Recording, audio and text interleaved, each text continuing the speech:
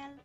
Bali, for today's vlog po guys, ngayon po, tuturuan ko po kayo ng 10 tips para sa mag-asawa. Ito po ang video ito ay para po sa may asawa at sa mga nagbabalak pa lang po mag-asawa.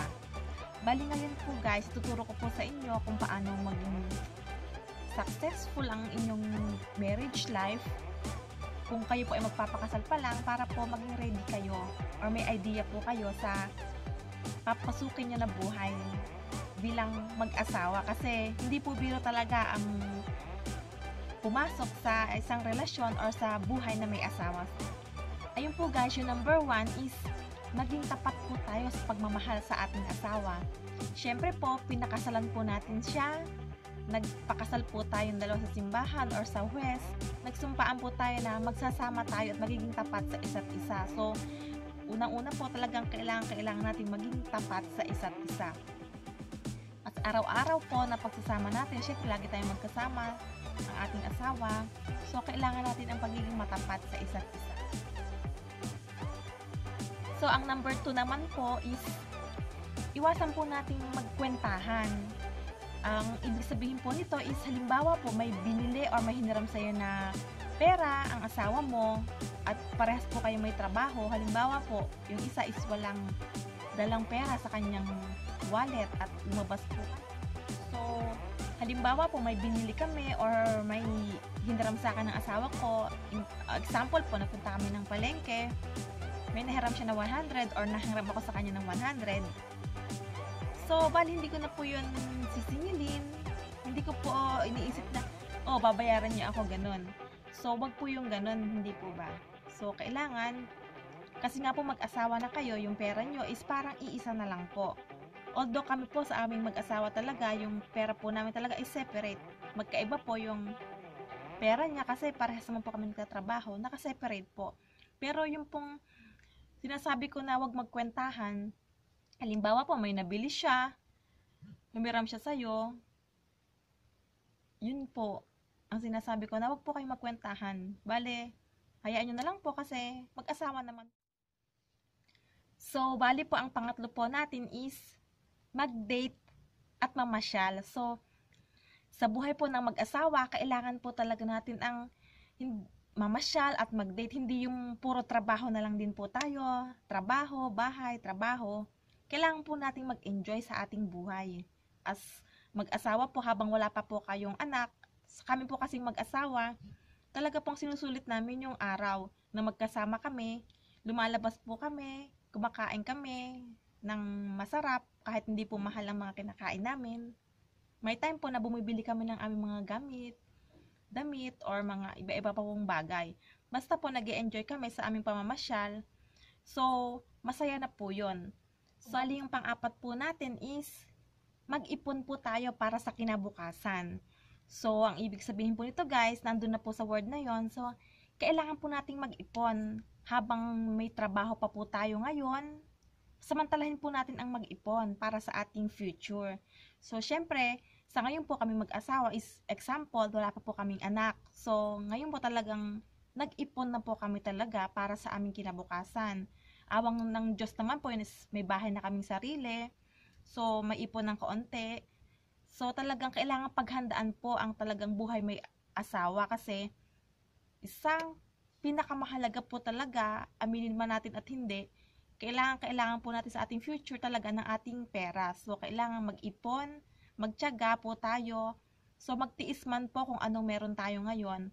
Basta po, ang importante, kailangan po nating mag-ipon bilang mag-asawa at, paki, at sabihin nyo rin po sa asawa nyo na mag-isip po kayo talaga ng mag-ipon talaga po. So, bali, ang panglima po natin is wag pong magsinungaling. So, napaka-simple po ng panglima natin is wag po tayo magsinungaling. Maging tapat po tayo sa ating mga kapartner sa buhay. Kasi po, asawa po natin yon Kung ano ang pong problema ang dumarating sa atin, maging open po tayo sa isa't isa. Huwag po tayong magsinungaling, sabihin po natin kung ano mga nararamdaman natin, maging tapat po tayo sa Kanya. So, maging open po tayo. In short, maging open po tayong mag, bilang mag-asawa. So, yun po ang panglima. So, ang pang-anim po natin is maging malambing po tayo. So, tayo pong mga babae, kailangan, kailangan po natin yan, or kahit kayong mga lalaki, kailangan po natin maging malambing sa ating mga asawa. Kasi dyan po natin maipapadama talaga ang ating pagmamahal sa kanila. So, yun lang po guys. Maging malambing sa ating mga asawa, ipagluto mo siya, minsan, paminsan-minsan, or ipag-ready mo siya ng mga damit niya na pampasok niya sa kanyang trabaho. So, wag mo kalimutang ihag din po kasi nakakatulong din po ito sa kanila at magiging ins- inspirasyon nila tayo bago sila pumasok sa kanilang mga trabaho. So, ang pampito po natin guys is asawa muna bago ang cellphone.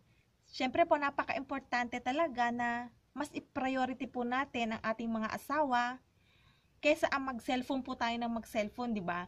So, para mag, baka magtampo siya, sasabihin niya, ano ba yung asawa ko? Cellphone na lang ng cellphone, wala na siyang time para sa akin.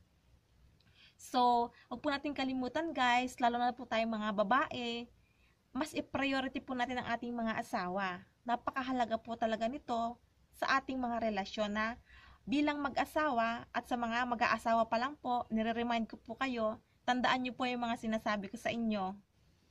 So, ang number 8 naman po is, para parang feeling ko po para ito sa mga lalak kalalakihan natin, sa ating mga asawa. So, intrega muna bago ang barkada. So, halimbawa po nito eh, guys is, halimbawa po may trabaho tayo or sumeldo na po kayo, sina mister. So, syempre, sa amin po mga misis na katulad ko, misis na katulad ko, kailangan nyo pong mag-intrega din sa amin, lalo-lalo na po kung halimbawa may mga anak na po tayo.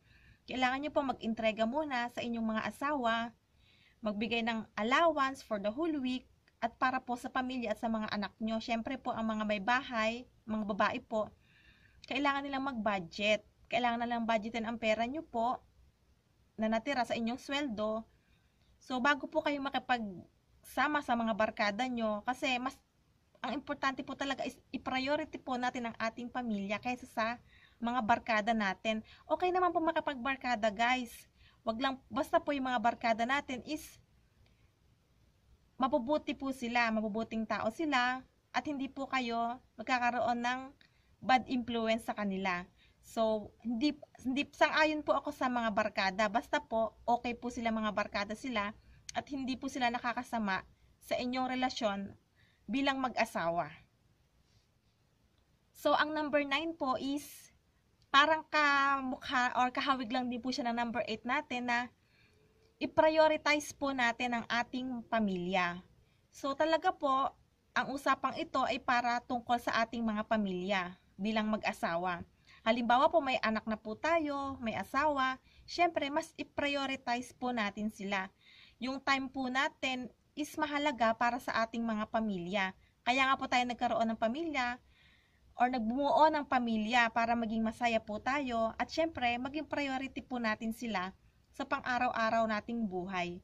So, karugtong po nito is, kaya nga pa tayo nagpamilya, kaya nga po tayo nagpamilya is, para po sila yung i-prioritize natin, may asawa na po tayo, may obligasyon na po tayo. So, kailangan talaga is nakapokus po tayo sa pamilya natin. Hindi na po tayo dalagat binata na pwedeng lumabas, pwedeng mag-party-party kahit saan. Hindi po mali po yun. Pero paminsan-minsan, okay naman po yun. Pero ang mas mahalagang importante po talaga is, mas priority po natin ang ating mga pamilya. So, ito guys, ito na po yung feeling ko na pinakamahirap.